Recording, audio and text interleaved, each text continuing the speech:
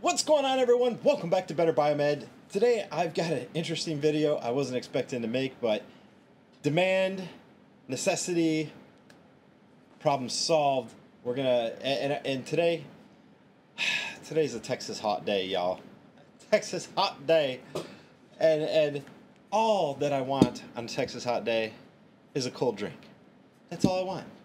And you see, the problem is, is that we have all these options and so many of them have so many flaws and i think i found a solution and that's what i want to share with you guys today all right today we're going to talk about water bottles the technology behind them and uh, some innovations that are going to change the way that you look at some water bottles. All right let's get into it. All right folks here we go. I, I have a small selection. Hopefully there's nothing inside these. That'd be embarrassing right? Okay so I have a lot of hot water bottles or uh, cold water bottles, or let's just call them water bottles, because often they're given out by companies and whatnot, right? And you see, there seems to be a real common denominator between them, and that is some pretty big design flaws, right? And and they don't care because all they do is they buy them from China and they get them embroidered or, or they get them uh, labeled with silk screened with their label and they, they ship it, right? That's that's the go-to thing, right?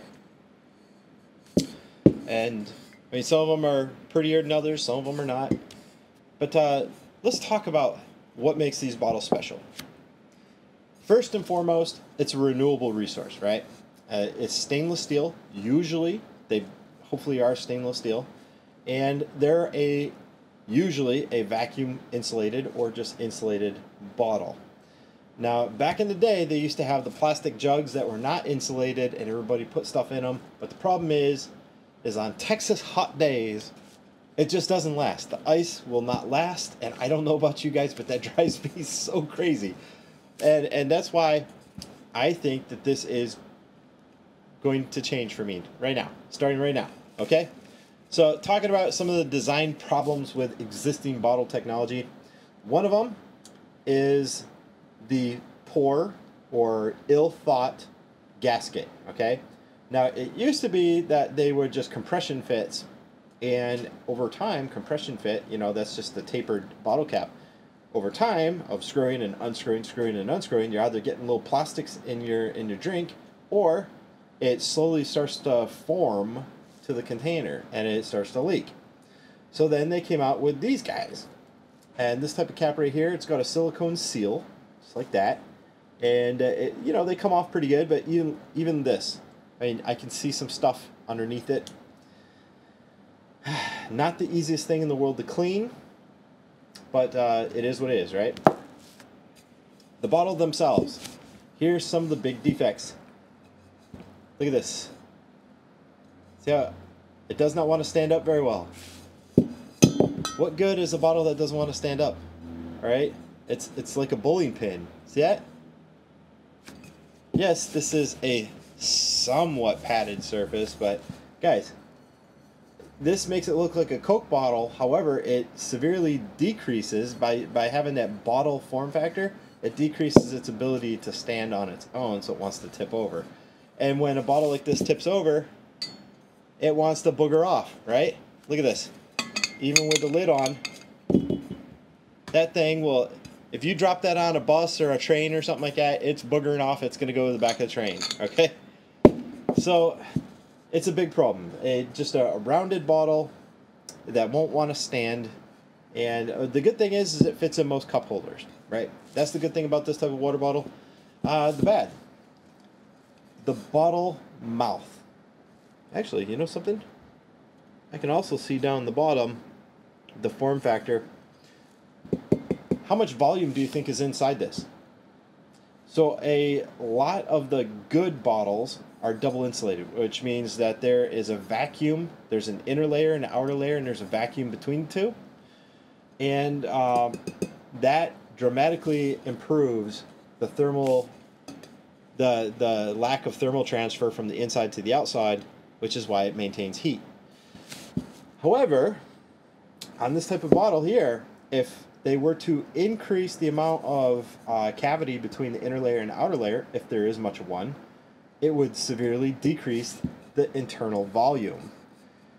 That's the thing. You choose a beautiful, slender form factor, you're going to have a, a pretty severe problem with volume. And what good is a water bottle if you can't put that much in it, right? Because remember, ice takes up a lot of space if you put ice in it. And if you put ice in it plus water, you're not going to get that much water in here. But you might not have to worry about that very much, will you? Because it's not insulated that well, so the ice will pretty quickly turn back in the water and it unless you're you're drinking some sort of liquid that you don't want to dilute, if you're just drinking water, that's not so bad. If you're drinking something that you would dilute, then it's going to matter because the ice is going to water it down pretty quickly. What about ice? With a bottle opening like that, you're feeding cubes in one by one, and that is so annoying. This, this bottle here, I, I might give it to my kids or if the pets go out on a road trip with us, we'll put some water in or something. But if it comes to actually using this as a daily driver, there's no carrying handle. It fits in a cup holder, yay. Doesn't stand very well. Hard to put ice in it. It doesn't matter if you. It's hard to put ice in it anyway because it's not insulated that well. So the ice on this type of bottle boogers off really quickly. Okay. Poor bottle design, all the way around. It's beautiful though which also kind of explains why Booz Allen Hamilton on this particular one, one of the largest government contractors out there, why they chose this Coke bottle form factor is because it's pretty. It's it's uh, form over function, you know. To me, function over form every single time. It's gotta it's gotta function and be really good. So then we have this kind of water bottle right here. All right, so this this one here, it's got a larger mouth. Hey, that's awesome. Yes, it's got a uh, more square base. Yes, it's close to the same diameter, so it fits in cup holders. Yes. When we unscrew this bad boy, you can see that it has a large threaded cap. That's also really good because that large threaded cap is very easy to put on remove, which you're going to be doing a lot. All right. It does have a seal that's way up in here, and that seal I don't know, maybe I can get at it with a pick, but it doesn't look like it, which means you can't clean it. So if you get something up inside there that's sticky or whatnot, you better be able to rinse it out. But you better make sure you can dry it really well because it's going to start gathering mold and stuff up and inside there and mildew because you can't dry it correctly and you can't pull that seal out to clean it. Large bottle opening, yes has a larger volume than this one. Absolutely. However, the distance between the inner chamber and the outer chamber is not so hot, not so cold. it's not so thick. And that means that they're trying to maximize internal volume, but they're doing it at the sacrifice of insulating ability. Ice on this guy does not last that long. Good thing it's got a large, wide mouth. That way there you can put ice on it very quickly. Another good thing that I like about this guy is its internal threads, which means that you are not drinking from the threads. You know when you're putting your lips on the threads and like it goes down the front of your shirt because there's you got a hole in your lip? Yeah. This one they kind of solved that problem. Not such a bad bottle. Just doesn't keep things cold, right?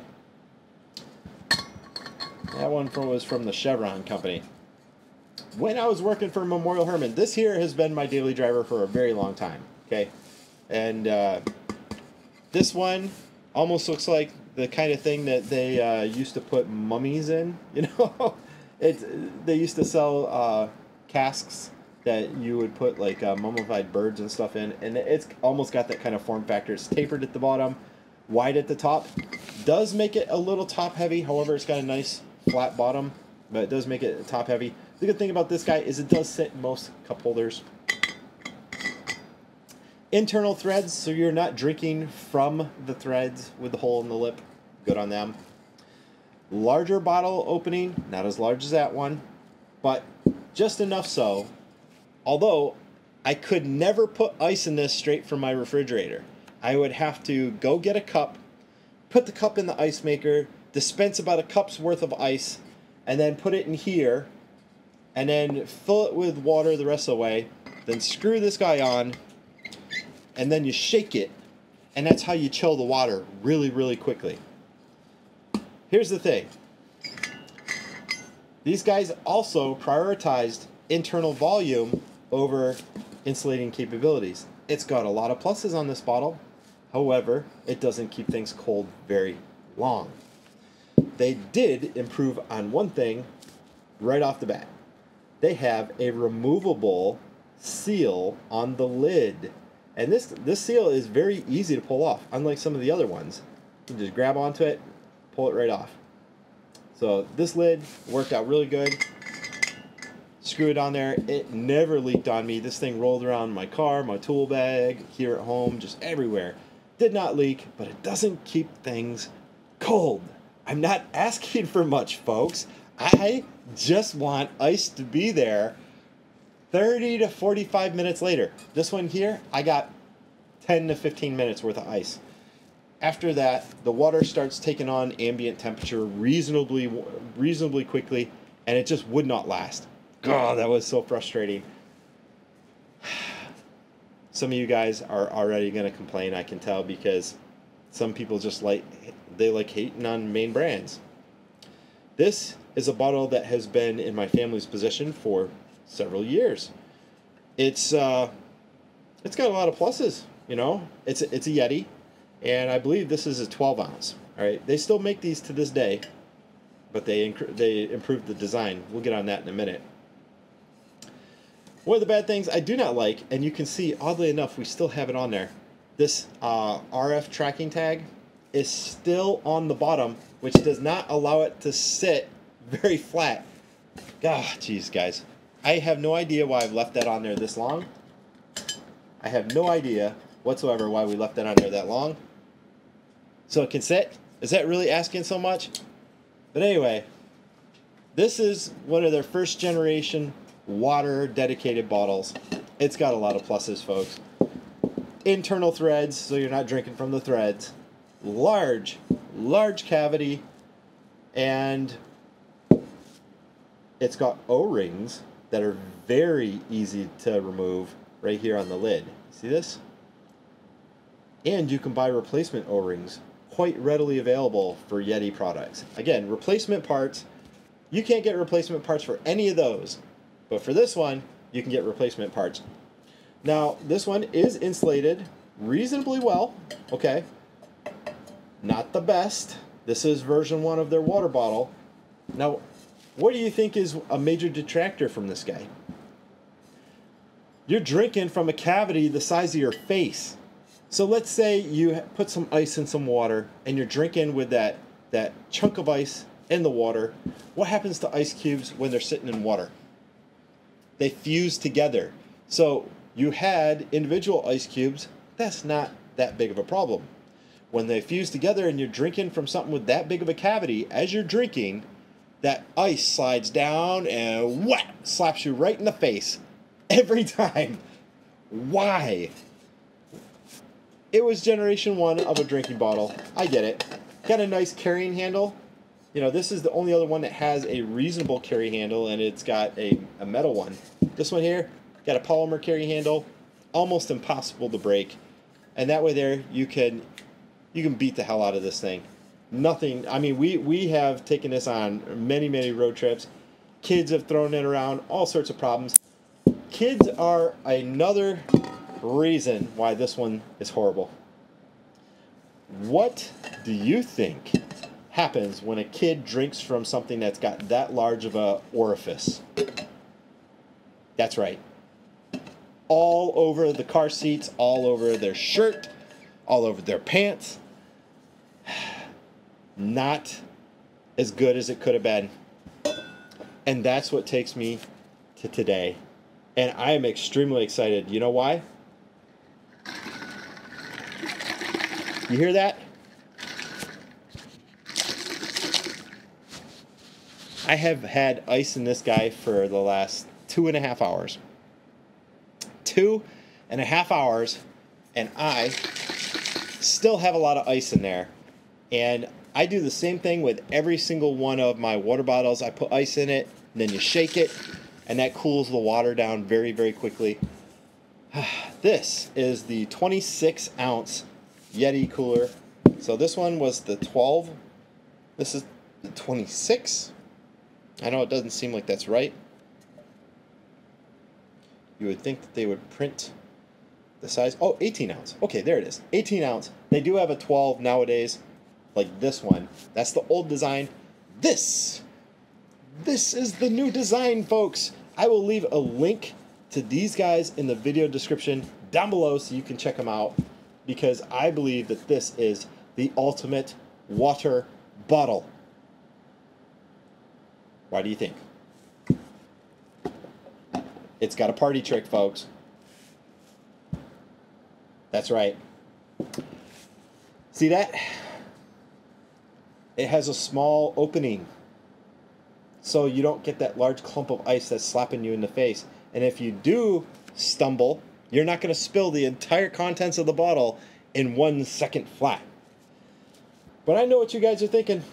You're thinking, wait a minute, you were complaining about this guy over here trying to put ice cubes in one by one and how annoyed I was. Yes. But they've thought of that. There's a rubberized ring right here at the top, which you can grab and you turn and it comes off. It comes off, folks. I could not tell you how excited I am about that. And here's one of the here's one of the best things about it. This old model, you can buy a replacement for your old bottles so it has these new features. It fits. They thought about backwards compatibility. That is so amazing. So folks, oh, I can actually feel the cold air coming out of it.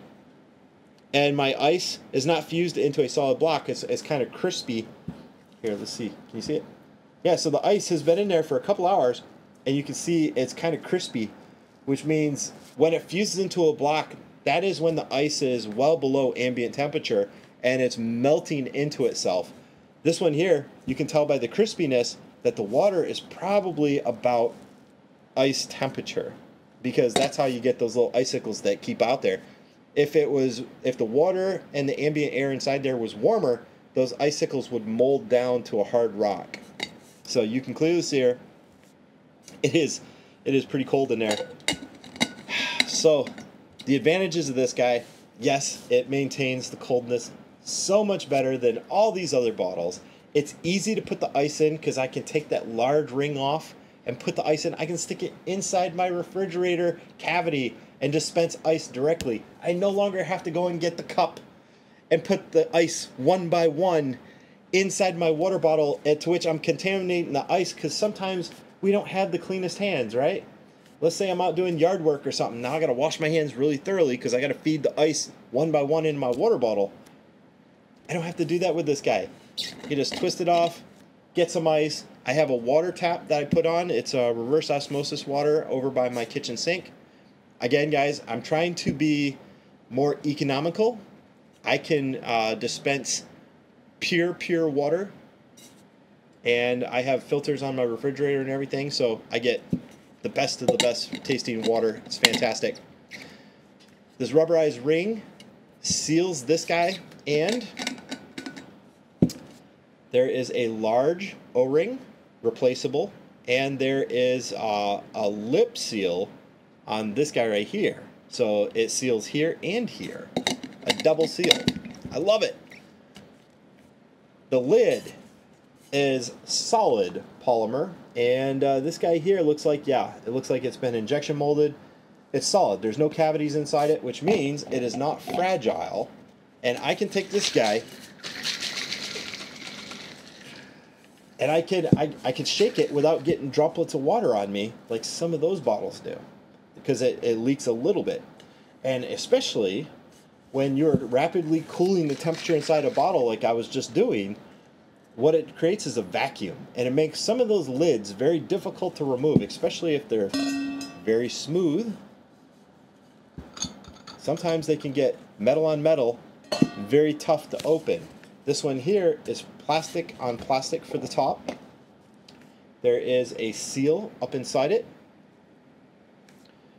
And then obviously there's a perimeter seal here and the rubber O-rings underneath. Oh my gosh. And when you're drinking with this guy, the ice cubes do slide down, but they come in contact with that large that large drop. It's what, an inch, inch and a quarter worth of drop there. And that's where the ice normally comes in to stop. It doesn't come in and smack you right in the teeth. Guys, that is the Yeti. This is the 26. And uh, it is absolute fantastic. It's easily going to be my, my favorite water bottle. This guy's going to go with me everywhere. Even probably when I'm flying on airplanes and stuff, this guy's going to be with me. And uh, I super dig it. I like the fact that I can also see through the top. It's, it's clear polymer, so I can see how much is left inside the bottle just by kind of tipping it. That's also pretty nice. So guys, my journey of water bottles has come to an end. And all these other bottles, unfortunately, they're going to sit down in my uh, in my cupboard and probably do absolutely nothing for who knows how long. All to be replaced with a single Yeti. They are about $40, but guys, considering that product right there is probably going to last me the next 5 to 10 years of hard, hard use, like this one here has, I, I think it's going to be money well spent, especially in those hot Texas summer days when all I want is a little bit of ice and some cold water. Is that so hard? Really? All right, guys. Thanks for watching. That is my ramble about water bottles. Go figure, right? Thanks for watching, guys.